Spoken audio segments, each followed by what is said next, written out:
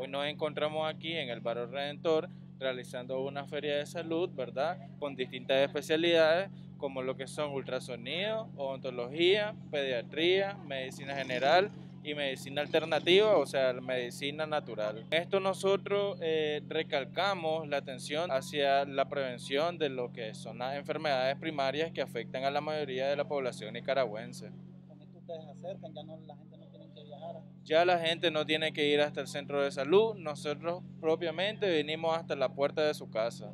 Primeramente le damos mil gracias al Señor Usted sabe que sin la voluntad de Dios nosotros no nos movemos. Gracias al Señor que con estas clínicas te da un paso de que, por ejemplo, a mí ayer me dieron esta orden, ya hoy me lo dice, cosa que a mí si yo hubiera esperado dos meses, tres meses, pero gracias al Señor, le estaba pasando consulta, estaba el doctor y me dice, mañana hay una feria, puede ir mañana. Entonces, esto uno se ahorra meses, días y uno se da cuenta del tipo de enfermedades que tiene. Bueno, para nosotros es algo de nuestra restitución de derechos. Esto nos beneficia tanto como a los adultos, a los niños y en general.